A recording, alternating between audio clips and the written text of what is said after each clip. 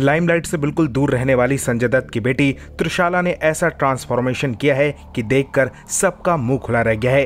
त्रिशाला के इस काम से सबसे ज़्यादा खुश उनकी सौतेली माँ मान्यता दत्त हैं। उन्होंने सबसे आगे बढ़कर बेटी के लिए कुछ ऐसा कहा है जो सभी के दिल को छू गया है। दरअसल कुछ समय पहले त्रिशाला का बड़ा हुआ वज़न था, जिसकी वजह से उन्हें अक्सर लोगों के ताने सुनने पड़ते थे।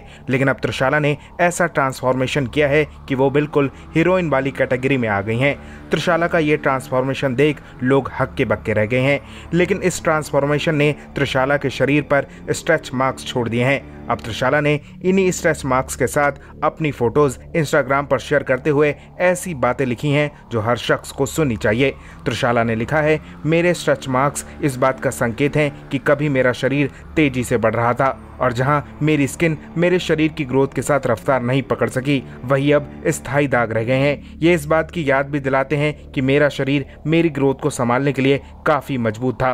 उस वक्त मुझे अपने जीवन के कुछ खालीपन से लड़ने के लिए ताकत चाहिए थी, जो मैंने ढेर सारा खाना खाकर हासिल की। इसने मुझे फौरी तौर पर भरे हुए होने का एहसास करवाया। हालाँकि ये मुझे खत्म कर रहा था। मुझे खुशी है कि अब मैं उससे उबर चुकी हूँ। वो मेरे आदर्श नहीं है, ये वो नहीं है जो मैं चाहती थी, लेकिन यही मुझे मिला। अब ये मेरे हैं, मेरी लड़ाई के निशान, जो वक्त के साथ धुंधले पड़ गए हैं। लेकिन अब मुझे इन पर गर्व है।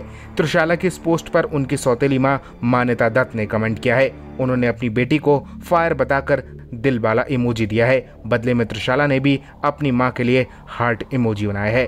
त्रिशाला चौंतीस साल की हैं और वो संजय दत्त और उनकी पहली पत्नी ऋचा शर्मा की बेटी हैं। त्रिशाला पेशे से एक साइकोथेरेपिस्ट हैं और वो अमेरिका में रहती हैं। त्रिशाला की परवरिश उनके नाना नानी ने की है। ऋचा शर्मा का कैंसर से निधन हो जाने के बाद संजय दत्त जब नशे के आदि हो गए, तब त्रिशाला को उनके नाना नानी ने रख लिया।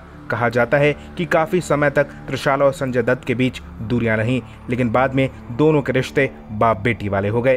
त्रिशाला अपनी सौतेली माँ मान्यता से सिर्फ़ नौ साल छोटी हैं, लेकिन दोनों के बीच माँ बेटी वाला रिश्ता कायम हो चुका है। फ़िलहाल त्रिशाला के इस ट्रांसफॉर्मेशन पर आप क्या कहेंगे? अपनी राय हमें कमेंट में दीजिए और ज़्यादा ऐसी अपडेट्स के लिए बॉलीवुड पर चर्चा को सब्सक्राइब कीजिए।